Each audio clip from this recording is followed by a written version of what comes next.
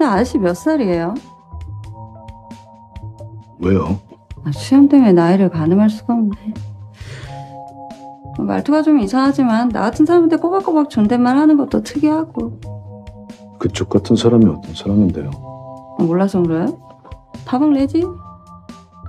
근데요. 어, 이런 데서 마주치는 나이 많은 아저씨들은 보통 다짜고짜 반말 찍찍 하는데 나이 안 맞습니다. 한 40은 대배는데 뭔가를 피나. 야, 그 가시나 그뭐 믿으면 안 된다. 형님! 어? 야, 그래서 형님! 어, 그래, 그래, 그래. 아이고.